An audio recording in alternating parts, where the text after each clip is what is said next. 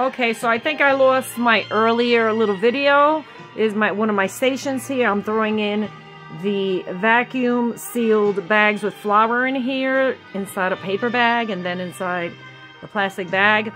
Over here's one more of my uh, millet millet bags at five pounds.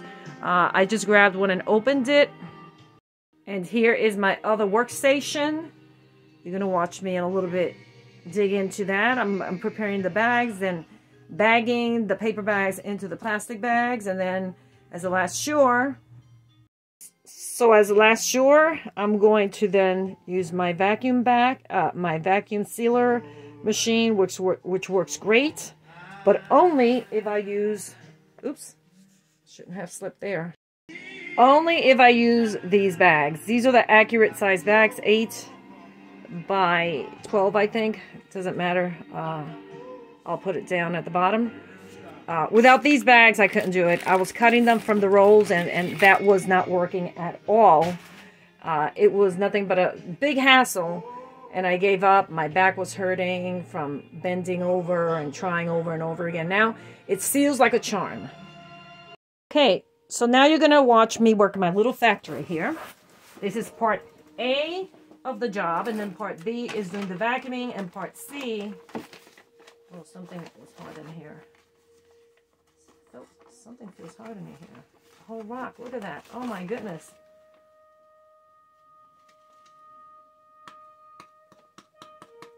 Wow. Whole rock? That's quite interesting. I want to save this, see what I could do with it, because it's kind of weird. It's a whole rock in here, huh?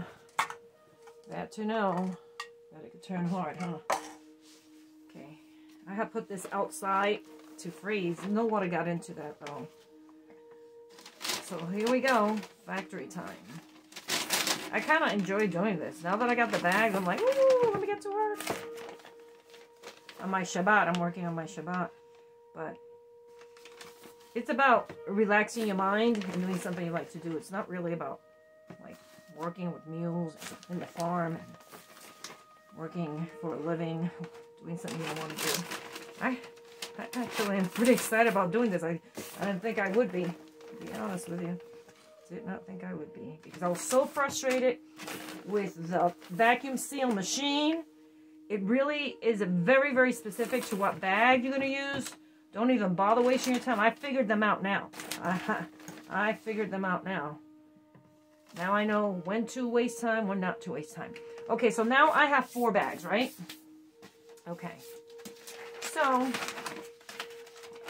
I'm going to kind of like fold it up, like, sort of like the way when you buy in the grocery store flour, you know, like inward, right? And then inward here, and inward here, and fold it one time, but you gotta leave room because I want it to be long like a hot dog, right? And I gotta be careful with my nails because these are very, very cheap, cheap bags that I picked up at uh, the uh, Dollar Tree, but it's well, well worth it. Um, totally not complaining, but you could easily puncture a hole with your nail. And actually, I like this part to be toward the bottom. Okay, so the opening part goes toward the bottom. Let's get this baby going inside. See, it's not so hard, right? Everything, everything is pretty simple. And I make sure it's flat over there. So now I got one, one bag, ready to go. One down. I am actually excited about doing this all by myself. I enjoy my time listening to some relaxing music. So actually I can fold it here. I don't have to really like pick it up and fold it. Fold it from here, from, from this area here. This, this, but these buckets are very, very, very useful. See, so now make it long. Oop, I just punctured a hole. I'm going to fold it over and pretend I didn't do that. See, there's a hole right there. When you do that, you could just take another bag and stick it in there, double bag it. But I don't think I'm going to have a problem with this. All right? So on. Only thing is when I open it in the future, I may have a problem. Right? I'll just I'll just use it from the bag itself. See how easy that was? So I got two bags so far. Okay. let me just put a few of these here. My little factory. My back was hurting so much yesterday from struggling because the vacuum, new vac machine, the, the vacuum machine that I was using, and I'm still using actually, I just learned how to use it. I realized it just takes its own bags and I ordered some and I'm not publicizing Amazon, I'm not for those people, the cabal, but I got it in one day. I became a prime member for $1.99 just for the week. Good enough for me to get my stuff going in one day. Because sometimes locally, you don't know where to find this stuff. Okay, so now, here we go. Scooty-Doo. Get in there, my love. Get in there. Now this goes in. Oh. Don't give me a hot time.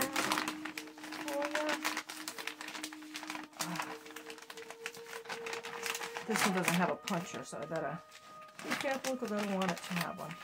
Alright, so.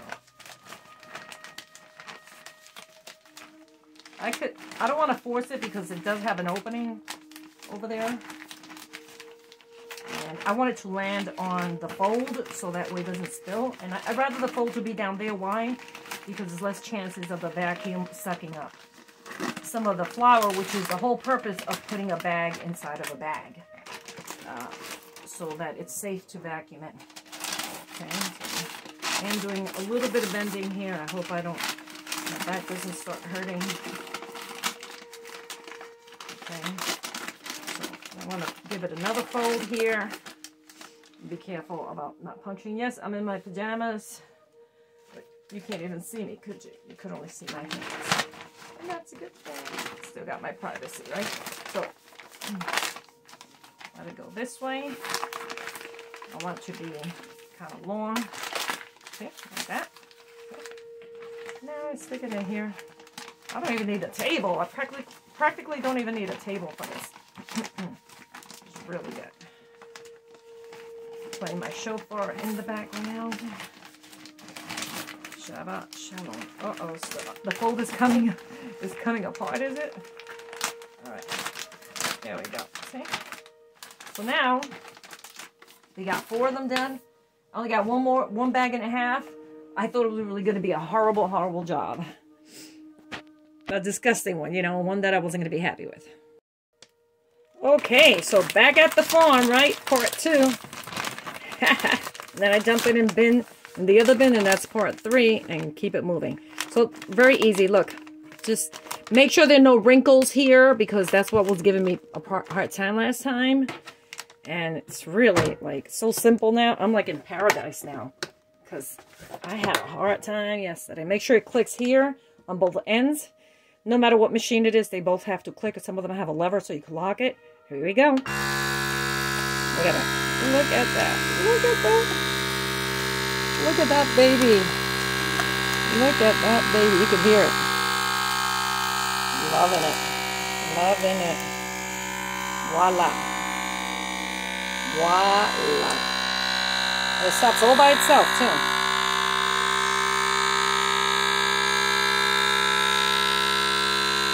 See? Don't seal. That means it's going to stop any minute. And boom. That easy. Yay! Look at that. Heart like a rock. Heart like a rock. Now,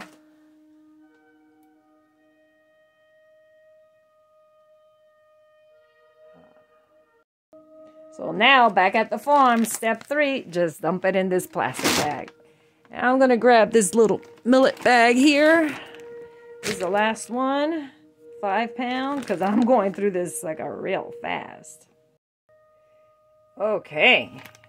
Oh. All right. So anyway, one more, one more bag, right? Well, actually, I got two more, but this is so much fun. I don't mind doing it. See? Just like that. That's all. No crinkles here. And it always has to be even. That's why you should buy the bags already cut. All right? Know your size bag and don't bother with the rolls because I don't I don't know how anybody does that. It's probably for other kinds of machines. Now, did you hear that click? You heard a click, right? All right, so watch. I'm going to hit vacuum. And there it goes. Watch. Look.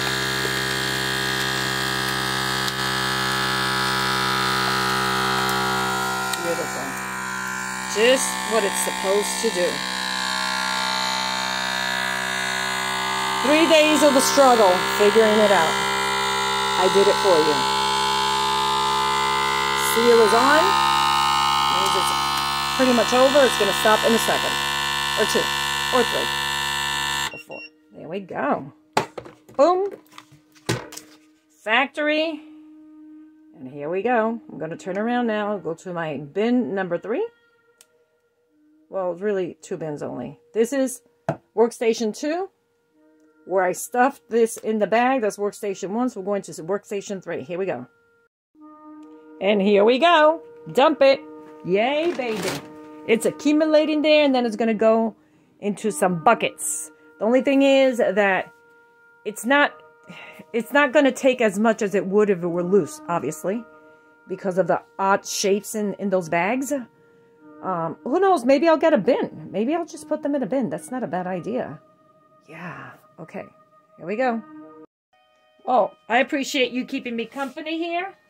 Oh boy, I had two more bags. Look at that. I didn't even do these. I'll just put them aside and we'll do it later. Do it later because I have fun doing this here. And since I'm already set to do it again, I washed my hands all the way up to here with lemon water. Sometimes I use vinegar instead of soap. Stay away from that soap if you can. I do use soap a lot more because now I'm going to tell you about other secrets. I don't use toilet paper anymore. I stopped using toilet paper about a year ago. Mm, I would say it's, it's, about a year ago already. It's hard to tell, but it's, a, it's about a year. I wish I would have written it down. And uh, I got tired of all the storage. The fact is, I saw a little film about it. It's not as clean, clean. You don't know what's on that toilet tissue, right? So um, you get a bidet, and it could be a handheld bidet. I have a handheld bidet that hangs from the shower uh, curtain rod. And I wash myself each and every time I go. Each and every time. Imagine being clean, that clean all the time. Imagine that. Take some liquid soap, get the job done. I invested on a lot of washcloths, which they go a long way if you're going to compare it to toilet paper. And since you're washing with soap and water, rarely do you get brown on that white little uh, hand wash, uh, uh, washcloth. When you do, you wash it. Very rare because you're washing yourself with soap and water just like you're in the shower. Okay? So, take it from me. I'm an expert in that now. Oh boy, this bag has a little bitty bitty hole. I can see it. It's, it is what it is. These are cheap bags, again, from Dollar, Dollar Tree. You get like 12 to a pack. And I'm using it because it's the only way to vacuum, vacuum seal flour. I've already frozen my flour. It doesn't have to remain frozen. You could freeze it and uh, then do what I'm doing.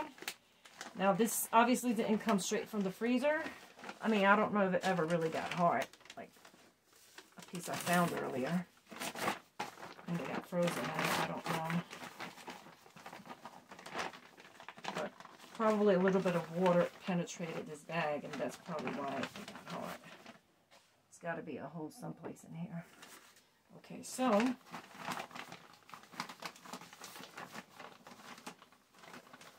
me see if I could catch all this. All right, so this is millet, what we're doing.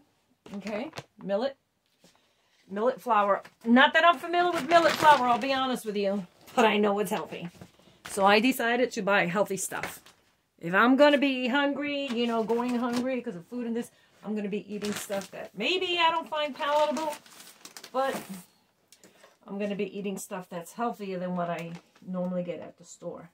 And it's a good opportunity to start getting healthy when you're really, really broke, poor. I don't know if we're going to go through a starvation period, you know, but you got to prepare, right? You have to prepare. And this is what I'm doing here. I'm a prepper. But I'm realizing that it's great to be a prepper even if you're not expect, expecting famine. because, or prices to go up. Because here I bought in bulk very, very, very healthy stuff. This is, I'm buying sprouted garbanzos in the other video if you saw it. Sprouted organic garbanzos. Can you imagine that? I haven't tried them. I'm going to sample it to see if it softens easy enough because the black beans, when I buy them organic from the regular store, I don't think it's really organic. Not even from the Amish. So I actually bought organic from the Amish. And, um, no difference. I know what non-organic black beans used to be 20, 30 years ago. They used to soften easy and they used to go bad very easy after you cook it. So they don't go bad anymore. That's because even Monsanto's even in, in the Amish uh, people's uh, crops, unfortunately. Because they want to sell mass, and if you want to sell by mass, you have to put some of those poisons in it. And although they try to regulate and keep it low, still, it's just as bad as, it's not even as good as what the non-organic used to be back 20, 30 years ago. That's how bad things are. Okay? I remember hearing about Monsanto's back then. And we're living in those days now. Okay, so see, I got my little scoop. I'm doing everything in the bin. The floor is dirty anyway. I, I'm not going to clean it until after this, but this is a nice little workstation. Okay, so now we're going to start with the bagging, right? So I think I could fit more in there. Frankly, I, I prefer smaller bags because it's just me and I can't see myself cooking this every day. But then again, we're living in hard times, you better believe I'm going to be cooking it a lot more than I had planned. Okay, let me put a little bit more in this bag here. Okay, so, see my little setup? Not bad, right? Pretty proud of it. Okay, so I'm going to fold it inwardly the way they do it in the stores. That's how you buy the flours. Fold it inwardly, right? Oops, very cheap, very, very cheap bags, okay? So be careful. That's why you need that extra, extra room, okay? So now I'm going to lie down because I want it to, so watch this. And once it's in there, whatever's going to come out is going to come out from the bottom, so it's going to be away from the vacuum. Oh boy, come on, girlfriend. You can do it. See, I gotta talk to myself into things. Okay, now it's in. Slide it in. There we go. There we go. Okay. You can squeeze it. Make it thin out. That's a great thing, right? It's flexible. All right. See? So now, I, I, I put pressure so it could close the, seal up the opening. And uh, this is going so much quicker than yesterday that I'm, I'm actually enjoying it. Remember back then when they used to have factories in America? That was my first job and I was 15 years old. And it could be fun. Assembling things, right? Okay, so I'm making it go this way, in this direction. And uh, I'm going to hold it this way and slip it in here. See how easy this is. It's not always as easy, easy peasy, right? Not always as easy peasy as it could be. So I am spilling some of it. I can see, but this is going to go in easy now. And here we go. Slip it in. Boom, boom, boom, boom, boom, boom.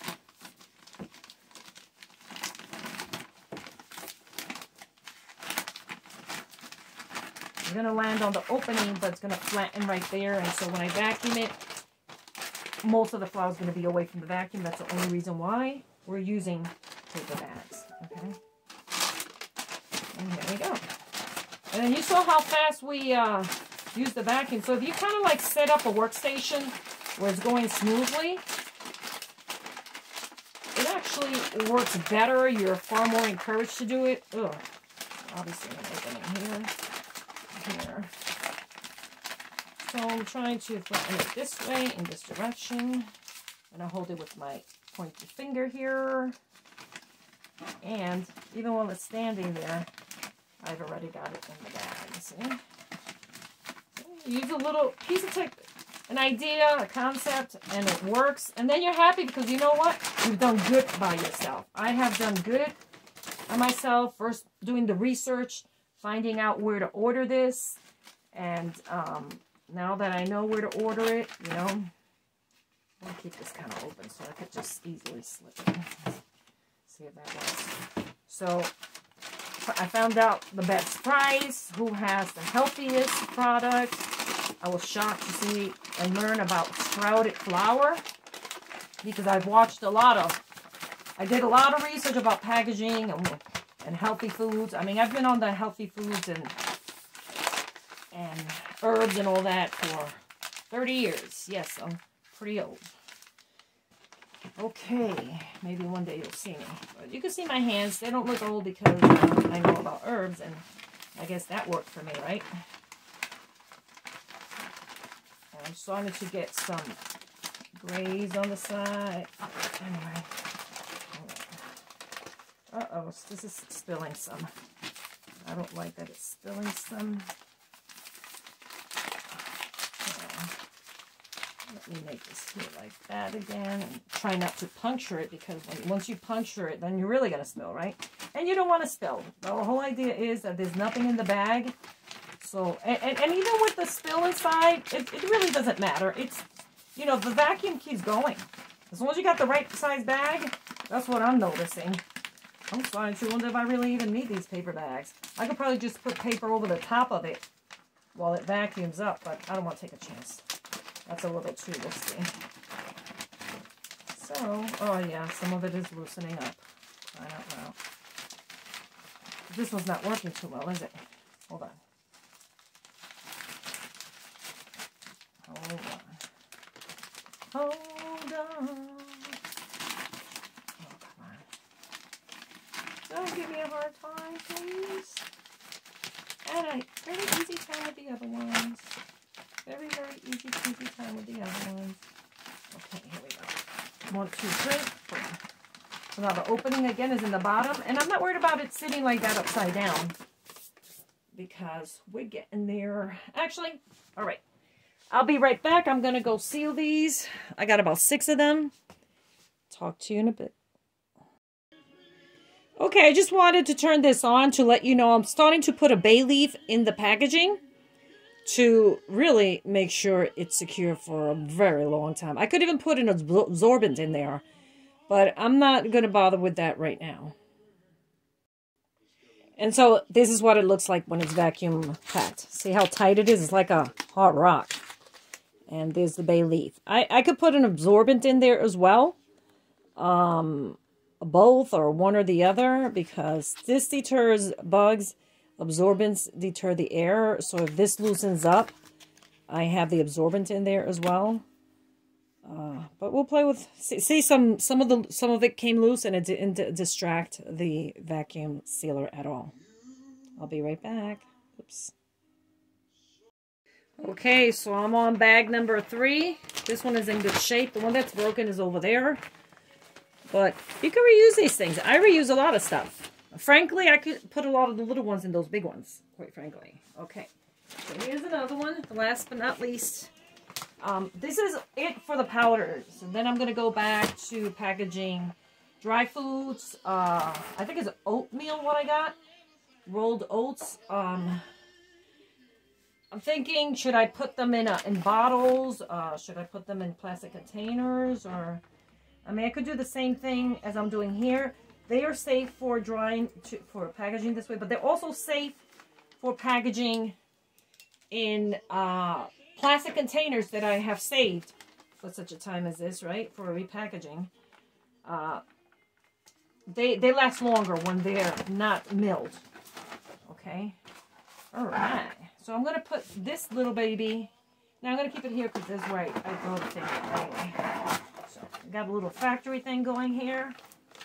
All is well. Thank you, Jesus.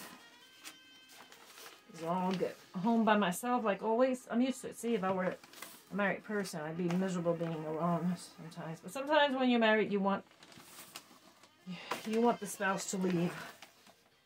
I've heard of stories women get, being mad at their husbands, causing them to retire. When they retire, they get them to get a part-time job so they could get out of the house. See, I don't have that problem. I don't fight with anybody. I fight with myself. I forgive myself. I actually ask God to forgive me because I do. I put I put signs up like right there. I'm in my kitchen. This uh, danger. Don't cook if you can't stand by the stove. Five exclamation points and then danger again exclamation point. See? So that's how I fight with myself. And I say, God, forgive me. No disrespect meant. I know that you treasure me. I am not dumb. I have to speak to myself positive, um, positive reinforcements, right? Affirmations, as they say. I don't have anybody to do it to me. And sometimes I get down because right now I'm struggling,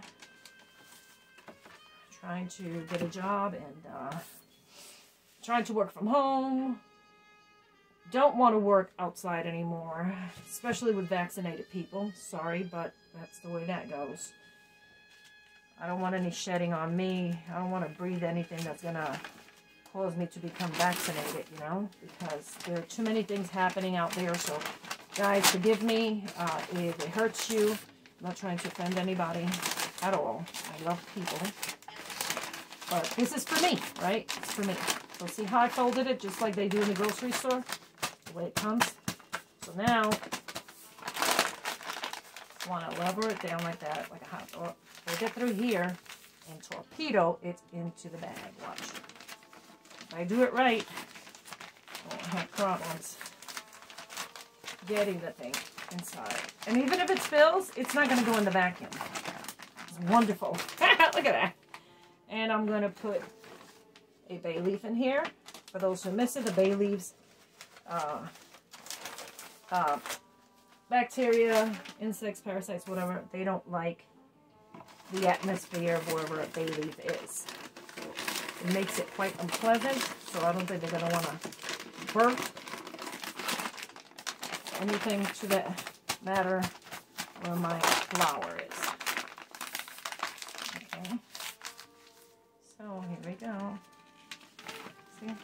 The more you do it, the swifter you get at it, right? The much easier it is. See? And I keep it sideways because, I mean, the opening is in the bottom. But when it folds, it folds on the fold. And let me put a bay leaf in that bag. I think one bay leaf is good enough because it's, quite frankly, it's not a big amount, right? One bay leaf, because then the flour is probably going to taste like bay leaf, right? We don't want not sure if I'm going to like the taste of this flour, to be honest. I've never had millet, to be honest with you. So what's spilling, I'm going to take it and see if I can use it as a sample. Because I don't think I'm going to like it. I mean, there are a lot of things that I bought that, but you grow a taste for it, right? It's your, it's your opportunity to, to, to grow a taste for those things you don't like that are actually really, really good for you. See, see, look at that. Way I'm holding it. And it makes it so much easier to put it. up. Look at that. Look how easy that is. My, my, my. Boy, I'm almost, I, I'm getting done real fast because once you get, you set up your station, right? once you, get the gist of it, you're rolling. You're rolling. I don't need anybody to help me. Sometimes, you know, you live alone you think, oh, what's about to help me? Nobody's helping me. But I should get into carpentry so I don't have to complain about that, right? do my own carpentry. There are a lot of women that do it. You know, so you watch you watch it on YouTube or whatever, and you learn and do it yourself. That's all.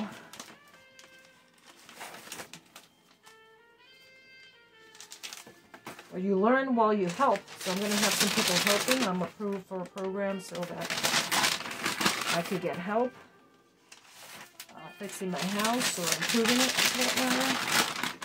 You gotta take advantage. When you're doing bad, you apply for these programs. When you're doing good, then uh, you spend the money on it, or maybe it's already fixed. I'm not trying to fleece the system, but since everybody else is doing it, coming from other countries, taking our tax dollars, You know? It's like, who cares anymore, right? It's like, total disaster. Living in very bad days. Today's March 11th, by the way, 2023. For those who need to know or, or would like to reference the times I'm talking about, they're not good. That's for sure. Alright, so I think I only have two bags left here. I'm not too sure I have that much. So this is a five pound bag that I bought. I bought about five of them. Millet, only because it's supposed to be good for you. no idea what it tastes like. But you acquire the taste. When you're hungry, acquire the taste of good food that's good for you. That's it. No more uh, hopping out to uh, Wawa's or right or I'm done with that. I want to make myself a nice shake. I got a protein drink. I actually buy bananas and I put fruit in it and I make my own little smoothies. I'm done with those junky, junky drinks that they're full of sugar. Back in the 70s and 80s, people used to complain that that soda had seven teaspoons of sugar. Well, these coffee drinks have a lot more. It's like suicidal, pretty much. Okay, so now, I don't know if I put a, green leaf here, but if I, even if I did, it's not a big deal. Let me, I'm doing everything. This is not what I'm supposed to be doing. But since I did it, let me just keep this here to keep it open. Fold this up. Remember, inward inward, just like when you go to the grocery store, when you buy your flour, it's folded inward, right? It doesn't stay inward very long, right? so you do what you can, right? Only until you could get it in. Oh, look at that. Look at that. And this is grainy flour. This is not like, uh... okay, so since it's pointy, I got a hold on it. See? Um, put this in here. Might as well. I'm just ruining it for myself. I had it so easy. All right. Torpedo it in, and voila. See, I'm not even counting how many uh, scoops I'm putting in there. I gather it's similar.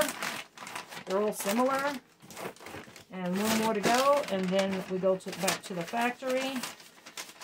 Back at the farm, at the mill machine. What is that mill machine? I do have a mill machine. One day I'm going to do a video. I got a commercial mill machine. I know that they go for... Uh, one that's not even really commercial goes for like three and change, $350. I got something on eBay that's commercial. It's still small, but it's commercial quality. And um,